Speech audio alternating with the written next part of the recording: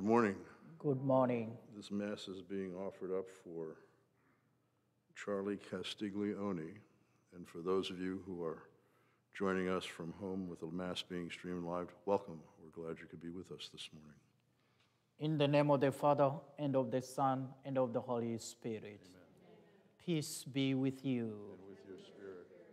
Dear friends, as we are now concluding this day, preparing to welcome the new year, we thank God for the gift of the year 2020, but also for the gift of life and for the gift of peace. Coming together as God's family, let us acknowledge our sins and ask for God's love and mercy. I confess to Almighty God And to you, my brothers and sisters, that I have greatly sinned in my thoughts and in my words, in what I have done and what I have failed to do, through my fault, through my fault, through my most grievous fault. Therefore I ask Blessed Mary, our Virgin, all the angels and saints, and you, my brothers and sisters, to pray for me to the Lord our God. May Almighty God have mercy on us and forgive us our sins and bring us to everlasting life. Amen. Lord, have mercy. Lord, have mercy. Christ, have mercy. Christ, have mercy. Lord, have mercy. Lord, have mercy. Glory to God in the highest, and on earth peace to people of good will. We praise you, we bless you, we adore you, we glorify you, we give you thanks for your greater glory. Lord God, heavenly King, O God Almighty Father, Lord Jesus Christ, only begotten Son, Lord God, Lamb of God, Son of the Father, you take away the sins of the world, have mercy on us. You take away the sins of the world, receive our prayer. You are seated at the right hand of the Father, have mercy on us. For you alone are the Holy One. You alone are the Lord. You alone are the Most High Jesus Christ, with the Holy Spirit, in the glory of God the Father. Amen. Let us pray. Almighty, ever living God, who in the nativity of your Son established the beginning and fulfillment of all religion, grant, we pray, that we may be numbered among those who belong to him, in whom is the fullness of human salvation, who lives and reigns with you in the unity of the Holy Spirit, one God forever and ever. Amen. Please be seated. A reading from the first letter of St. John. Children, it is the last hour, and just as you heard that the Antichrist was coming, so now many antichrists have appeared. This we know, thus we know this is the last hour. They went out from us, but they were not really of our number. If they had been, they would have remained with us. Their desertion shows that none of them was of our number. But you have the anointing that comes from the Holy One, and you all have knowledge. I write to you not because you do not know the truth, but because you do, and because every lie is alien to the truth. The word of the Lord. Thanks be to God. The response will be, Let the heavens be glad and the earth rejoice. Let the heavens be glad and the earth rejoice. Sing to the Lord a new song. Sing to the Lord, all you lands. Sing to the Lord, bless his name. Announce his salvation day after day. Let the heavens and be glad and the earth rejoice. Let the heavens be glad and the earth rejoice. Let the sea and what fills it resound. Let the plains be joyful and all that is in them. Then shall all the trees of the forest exult before the Lord. Let the heavens be glad and the earth rejoice. The Lord comes, he comes to rule the earth. He shall rule the world with justice and the peoples with his constancy. Let the heavens be glad and the earth rejoice. May Almighty God bless you in the name of the Father.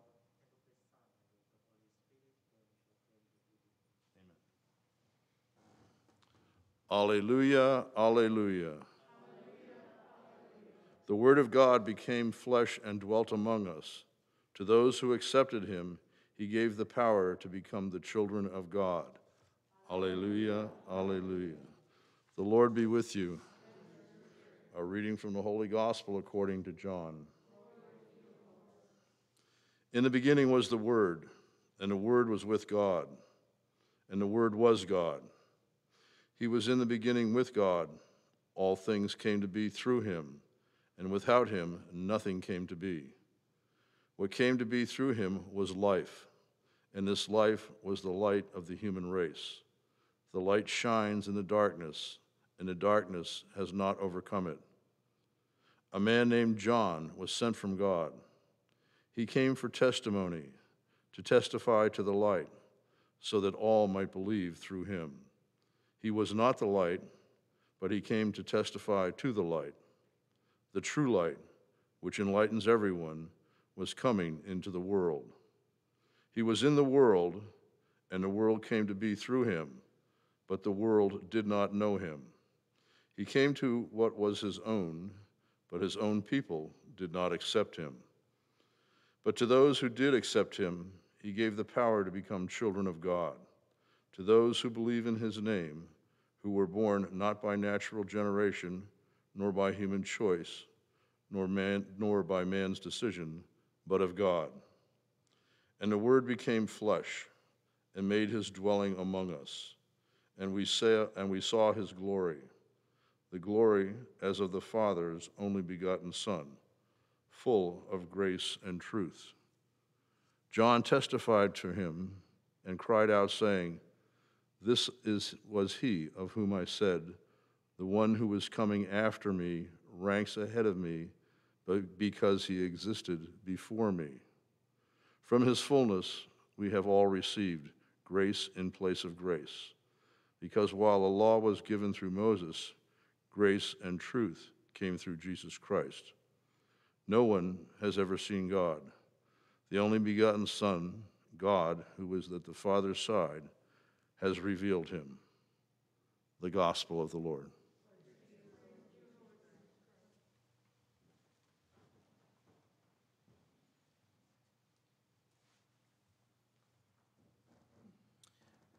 Dear friends, this morning I went through the gospel of today, hearing John the Baptist is telling us that he's not the light, but he's the one who is preparing for us to encounter the presence of that light, the coming of our Lord Jesus Christ. Jesus is the light of the world. Jesus, the light of the world, which illumined our lives each day. And wherever He touches our lives, always we are transformed into new life. I was asking myself, what do I remember for year 2020? What comes to me directly is COVID 19. But I started asking myself, just COVID 19? I came to learn that uh, this 2020 has been really a year which reminds us to come together as the people of God, to recognize that God does wonders in our journey of life, even at the moment of our struggles, even at the moment of this pandemic. He's always with us. At the beginning in March, we were in a turmoil. Started asking ourselves, how are we going to make it? Are we going to have life again? And today we are in December, at the end of the year, we say, Thank you, Lord, because we have started seeing that light. People have started getting vaccine we know that not all of us will get the vaccine at the beginning of 2021. But we are sure that God's ways are not our ways. We are sure that all those people who are working to make us ourselves safe, they are trying to respond to God's call. And their mission is to give us strength and safety. But we have to recognize that no matter what we do, we are not accomplishing our success unless we come forward to the presence of God. John the Baptist today is reminding us there is someone who is greater than him, and he is the light of the world. Let us continue to acknowledge his presence, to continue to be thankful, even at the time we find ourselves difficulties in our lives. He's always calling us, do not be afraid. Come to me who you are labor and burden, and I will give you rest. Let us be thankful for the year 2020 because it has been a year for us to embrace the love of God and to be thankful even at the difficult moments. Amen. Please stand. Lord Jesus, we thank you for being the light of the world, to come and embrace us. Give us strength so that we can recognize your presence, and for this we pray. We pray for faith. We pray for peace and justice all over the world, and for this we pray. We welcome the year 2021, but we know that is because of your blessing and because of your power and your will. Allow us, all of us, to welcome it with joy and peace, and for this we pray. You have taught us how to come forward to you, even at the moment of struggles, as we did for the COVID 19. Give us courage as we welcome 2021 so that we can move forward with your love and care. And for this we pray. We know that this year, 2020, we have lost our dear ones, especially for those who died with COVID 19. Lord, receive them for eternal rest, and for this we pray. We ask thee through Christ our Lord. Please be seated.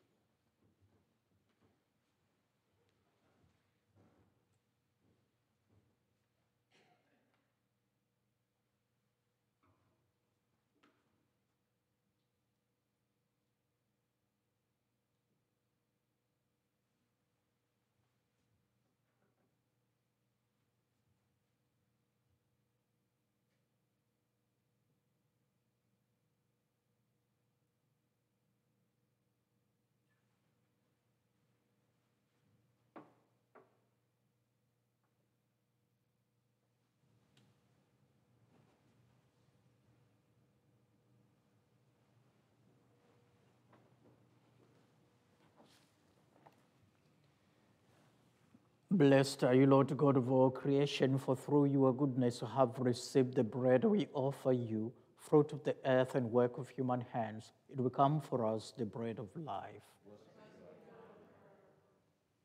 Blessed are you, Lord God of all creation, for through your goodness we have received the wine we offer you, fruit of the vine and work of human hands. It will become our spiritual drink.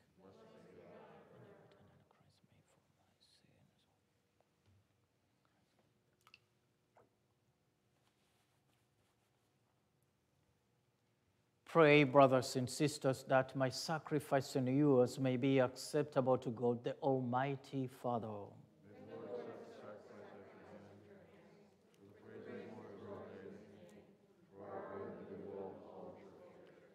O God, who give us the gift of true prayer and of peace, graciously grant that through this offering we may do fitting homage to your divine majesty and by partaking of the sacred mystery, we may be faithfully united in mind and heart through Christ our Lord. The Lord be with you. Lift up your hearts. Let us give thanks to the Lord our God. It is true, right, and just to our duty and our salvation always and everywhere to give you thanks Lord, Holy Father, Almighty and eternal God, for in the mystery of the Word made flesh, a new light of your glory has shone upon the eyes of our mind, so that as we recognize in him God made visible, we may be caught up through him in love of things invisible. And so, with angels and archangels, with the thrones and the dominions, and with all the hosts and powers of heaven, we sing the hymn of your glory, as without end we acclaim.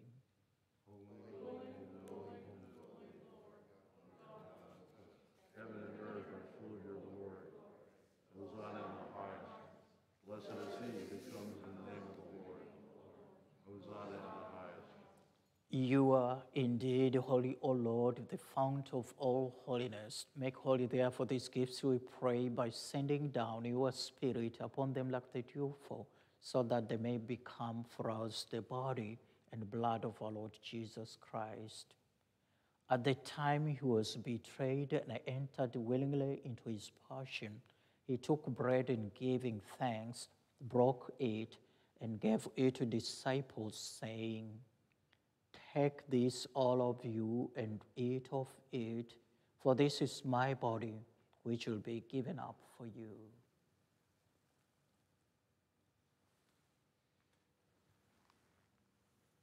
In a similar way, when supper was ended, he took the chalice and once more giving thanks, he gave it to disciples, saying, Take this, all of you, and drink from it, for this is the chalice of my blood, the blood of the new and eternal covenant, which will be poured out for you and for many for the forgiveness of sins.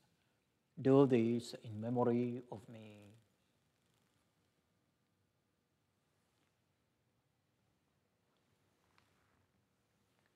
the mystery of faith. We proclaim your death, O Lord, and profess your resurrection until you come again.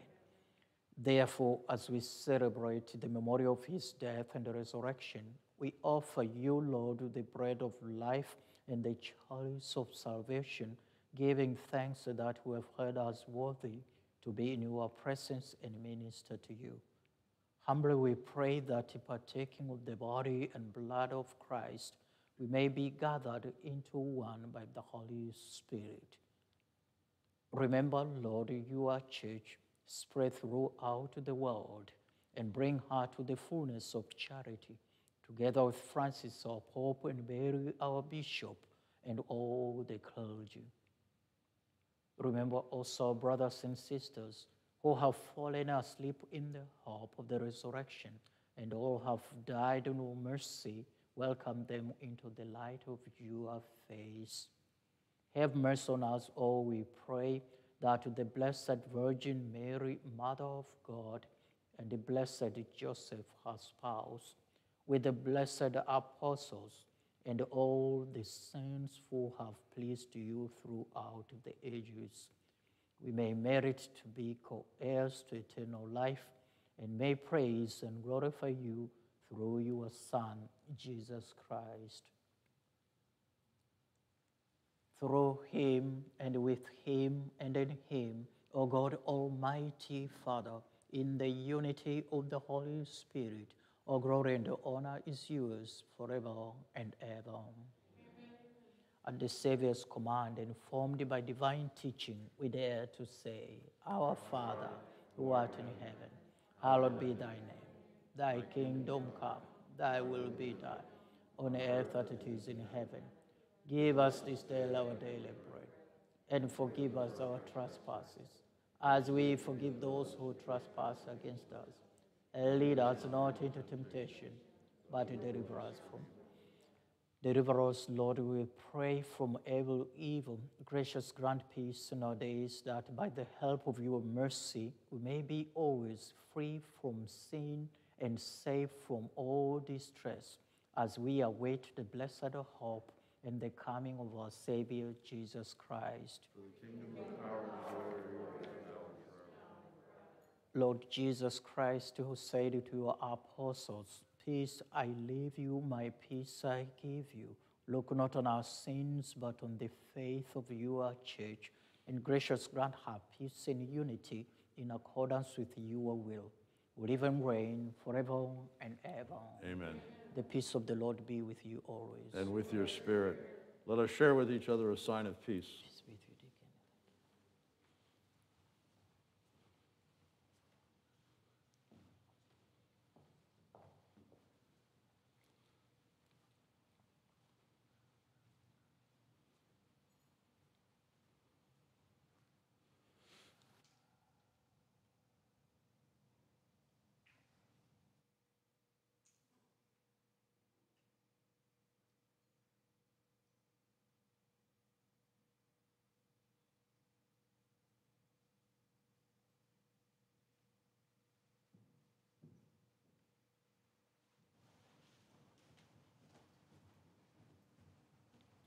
Lamb of God, you take away the sins of the world.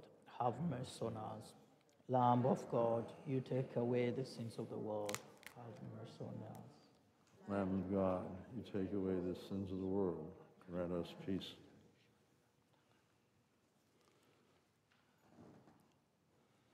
Behold the Lamb of God. Behold him who takes away the sins of the world. Blessed are those called to the sup of the Lamb. Lord, I am not worthy that you should enter under my roof, but only say the word, and my soul shall be healed.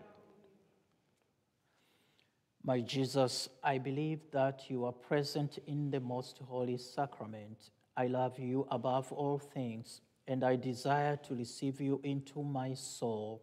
Since I cannot at this moment receive you sacramentally, come at least spiritually into my heart. I embrace you as if you were already there and unite myself wholly to you. Never permit me to be separated from you. Amen. Reminder when you come up to the communion table, please have the mask covering your nose and mouth. Cup your hands. We'll deposit the host in your hands. Step to the side. Lower the mask. Consume the host. Raise the mask and then return to your seat, please.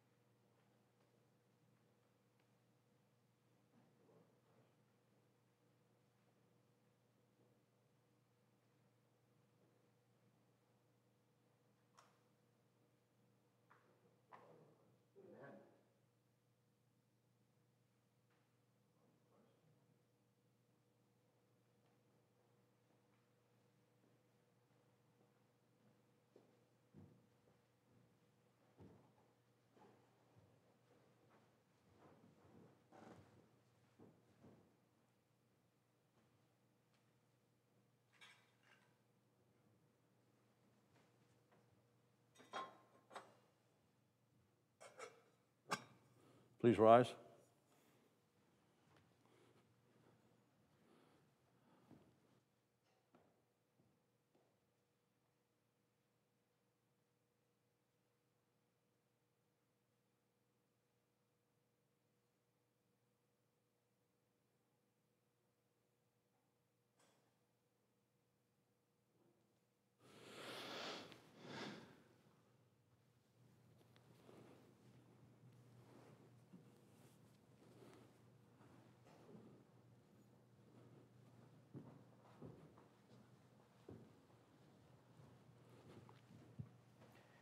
God sent his only begotten Son into the world so that we might have life through him. Let us pray. May your people, O Lord, whom you guide and sustain in many ways, experience both now and in the future the remedies which you bestow, that with the needs solace of things that pass away, they may strive with ever deepened trust for things eternal through Christ our Lord. Amen. On behalf of Deacon Jim, I would like to say thank you for your prayers and for your participation. And for those who are watching live stream mass, I say also thank you for your prayers and for your participation. But in a very special way, for those who will not be able to come for the, the visual mass tonight, I want to wish you Happy New Year. And may God continue to bless all of you. And let us continue to be united together as we did for 2020. Amen. The Lord be with you. And with your spirit. May Almighty God bless you in the name of the Father, and of the Son, and of the Holy Spirit. Amen. Go in peace, glorifying the Lord by your lives. Thanks be to God.